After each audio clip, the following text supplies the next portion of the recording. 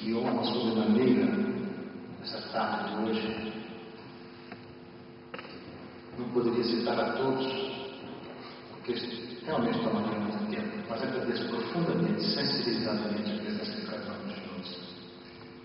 Muitos são meus amigos, conhecidos de ser autoridades, não são autoridades, mas são meus amigos. Com isso, então, eu me sinto profundamente feliz.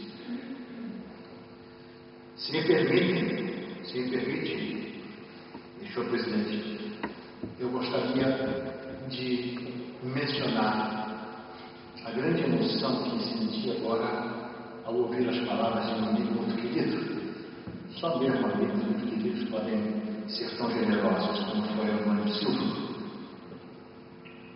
E devo dizer que uma hora antes de vir para cá, eu recebo um e-mail do Armando dizendo que eu estava me preparando seguramente para vir à academia, mas que ele me acompanhava, que haveria uma surpresa para mim.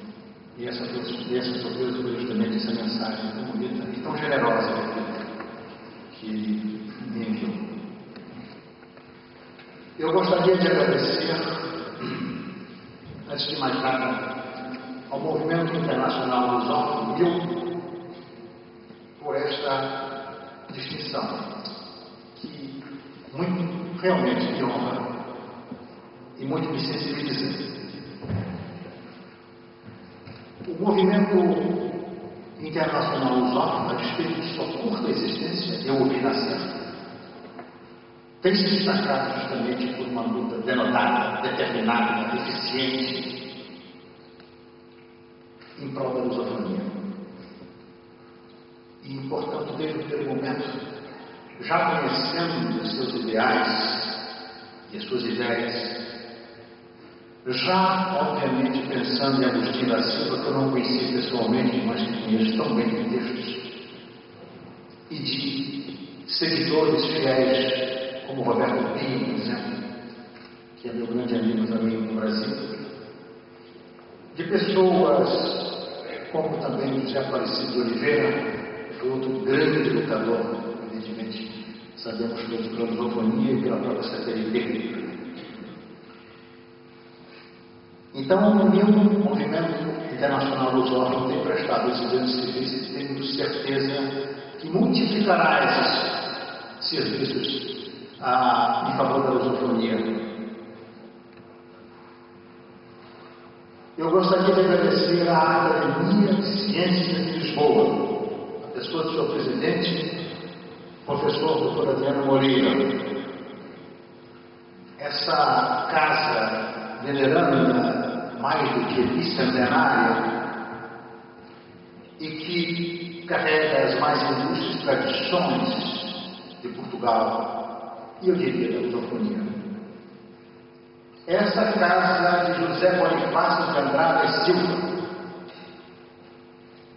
essa casa onde ele foi o secretário perpétuo, essa figura absolutamente admirável de dois mundos, de dois países, José Bonifácio de Andrade Silva, que veio para Portugal tão jovem, estudar em Coimbra e que só volta ao Brasil aos 56 anos de idade, depois de ter cumprido um papel absolutamente extraordinário em Portugal e Europa, como grande cientista que foi, como grande homem público, como grande administrador, ele volta à sua pátria natal, ao seu tornão natal, para ser uma figura absolutamente chave na própria independência do Brasil.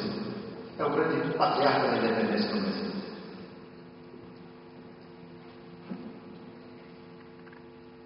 E José Bonifácio de Andrade Silva não deixa de ser, a meus olhos, um defensor da lusofonia avanalete. Mas se falamos de lusofonia, isso é um assunto que nos convida a todos a uma reflexão, isso eu tenho feito nos últimos anos, Começamos a chegar, em primeiro lugar, a uma conclusão de que eram não pode se esgotaram, evidentemente, na questão da língua. É a necessidade de um enfoque muito mais abrangente, em que aspectos outros possam ser levados em consideração. É muito mais do que um espaço falantes da língua portuguesa e é muito mais do que o universo de falantes do português. Muito mais do que um espaço, eu digo sempre, lusofonia para mim é espírito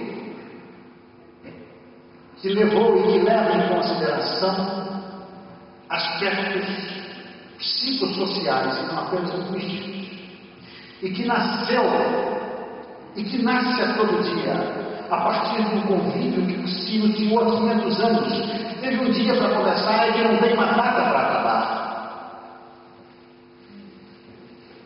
Essa coisa, esse diálogo que se estabeleceu nesse triângulo Brasil, perdão, Portugal, África, Brasil, é uma obra em construção. E Portugal, evidentemente, é matriz de tudo isso.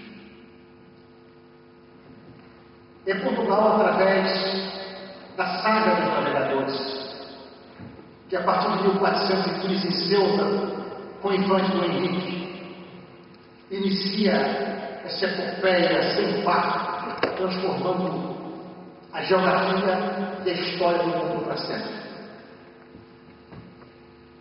É Portugal lançando as raízes da globalização. Mas é mais do que isso. Os senhores me se eu insisto nessa tese. Para alguns é um tanto quanto ousado demais.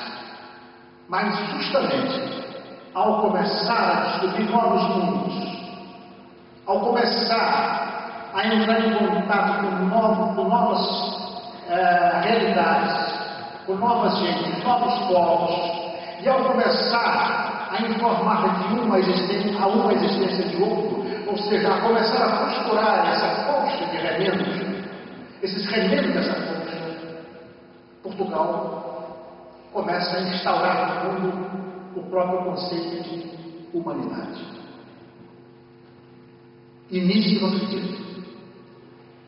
Um país com aquela dimensão, com essa dimensão de hoje, com população exígua, e que de repente, através de uma gesta absolutamente única na história do mundo, consegue essa proeza única.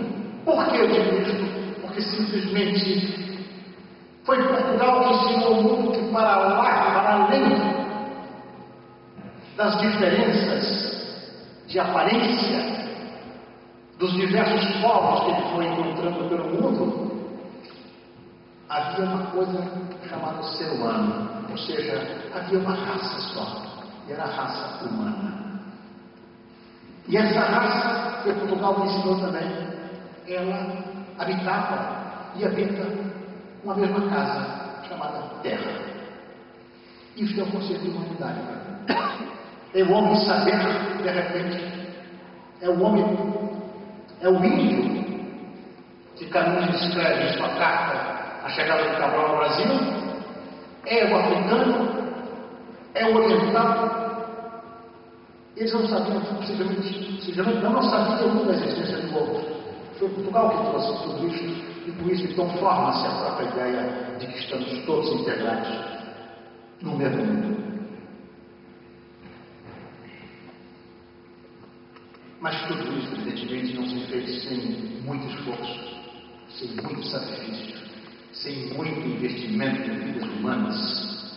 Está aí a navegação trágica marítima para nos mostrar quanto custou a Portugal no Cristo. Essa epopeia, por outro lado,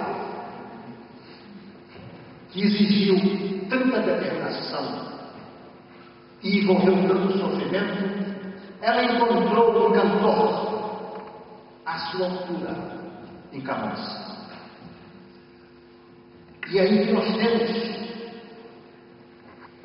um poeta que cantou não apenas o feito de um grande homem, de um grande navegador, que poderia, no caso, Vasco da Gama, evidentemente, seria um novo, uma nova epopeia, um novo Odisseus, ou seria o novo